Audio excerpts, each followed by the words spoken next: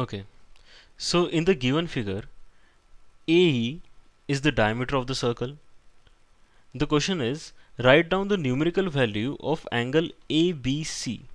This is angle ABC plus angle CDE. This is angle CDE. Give reasons for your answer.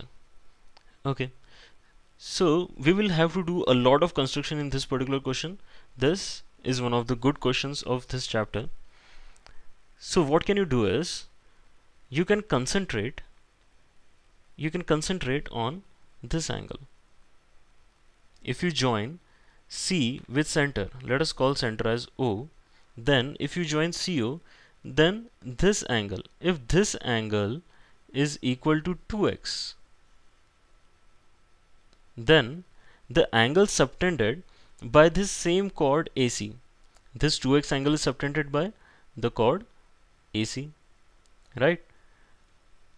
At the center. But if you look at the angle subtended by this chord at the circumference, you will have to join CE also. Let us join C and E. So now this angle, angle CEA, is the angle subtended by the chord AC at the circumference. But using the property that angle subtended by the chord at the center is twice that of the angle subtended by the same chord at the circumference, we can say the value of angle CEA should become x. Again, now look at quadrilateral AECB.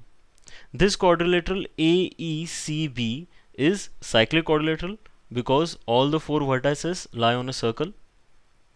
Now, since we know that the sum of opposite angles of a cyclic quadrilateral is equal to 180 degrees, we can comment on the value of angle B in terms of x.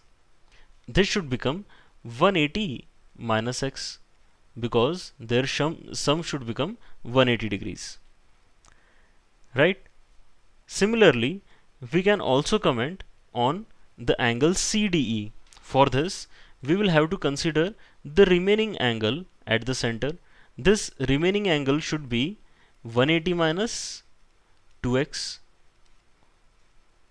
If this angle is 180 minus 2x, what is the angle CAE?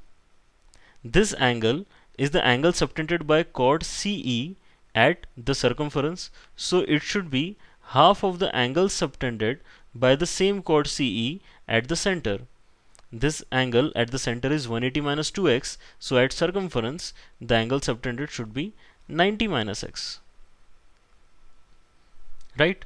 Now again, look at the quadrilateral AEDC. This quadrilateral AEDC is again cyclic quadrilateral because of which you can comment on the value of angle D.